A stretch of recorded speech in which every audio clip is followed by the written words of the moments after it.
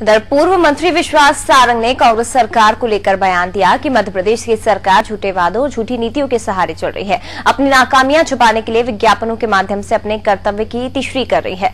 कमलनाथ ने वादा किया था कि आर्थिक रूप से पिछड़े हुए जोड़ों को मुख्यमंत्री व्यवहार योजना के माध्यम से इक्यावन हज़ार रूपए दिए जाएँगे। साढ़े बाईस हज़ार व्यवहार हुए पर किसी को राशि नहीं दी गई। सरकार की वादा खिलाफी का जीता जागता उदाहरण है। साथ ही उन्होंने कहा कि गुट और गिरोह में बटी पार्टी की सरकार बनती है तो ऐसे ही होता है।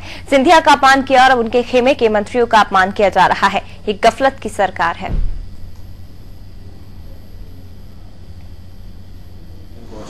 मध्य प्रदेश की सरकार झूठे वादों और झूठी चिट्ठियों के सहारे चल रही है। अपनी नाकामी को छुपाने के लिए या तो पुरानी सरकार पर इल्ज़ाम लगाओ, या अपनी नाकामी को छुपाने के लिए विज्ञापनों के माध्यम से चिट्ठी लिखकर अपनी ज़िम्मेदारी को इतिश्री करो।